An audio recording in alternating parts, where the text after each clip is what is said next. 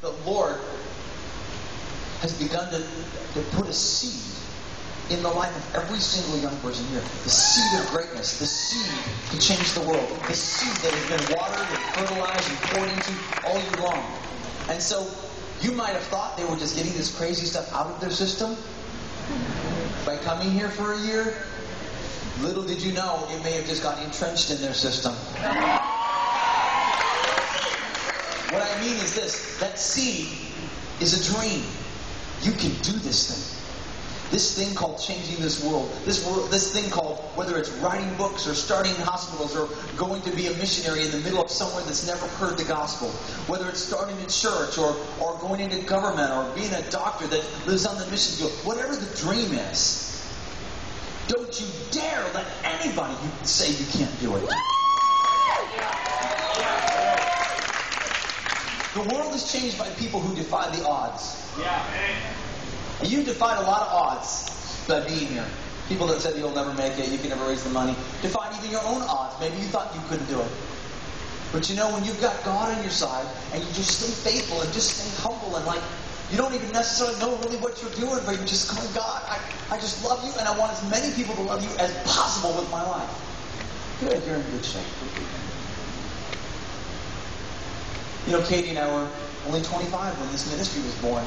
It's not much older than most of you. There's a seed that's growing right now. Who knows what that might be? It might be to join another ministry, to come back to Teen Mania and start your own. I don't know. But whatever that seed is, just go after it. I can do how many things? I can't hear you.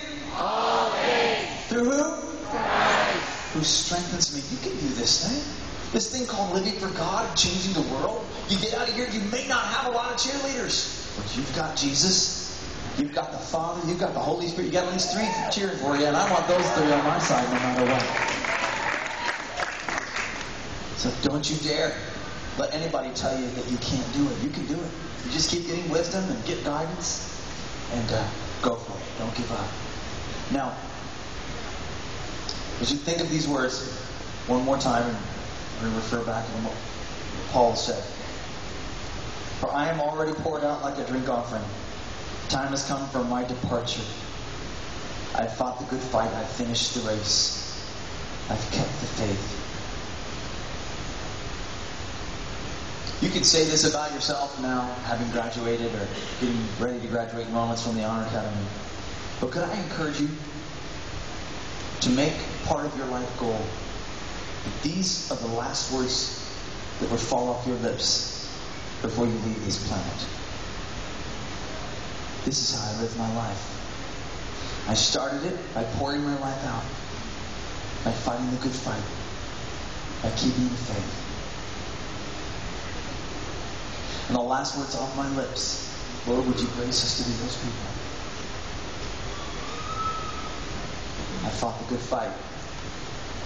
The fight is not just to keep your faith strong, it's to keep your faith strong so that all that God wants to do through your hands, there are people waiting for you at the other end of your dream. They're counting on the fact that you're going to keep your faith strong. You're going to fight the good fight so that they can get reached through your songs or your books or your preaching or your business deals or the laws that you pass or the books that you write. They're going to get they're going to get touched. They're going to get won to Christ because the dream He's put in your heart. So it's not just about so you can have a great dream. It's because there are people at the other end of your dream that have yet to be reached, and they're counting on you to be faithful. Would you join me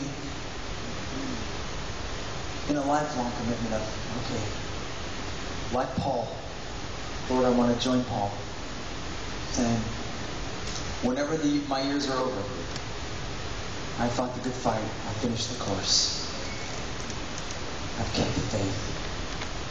Now is the time for my departure. How many want those to be your last words? God bless you guys. Congratulations.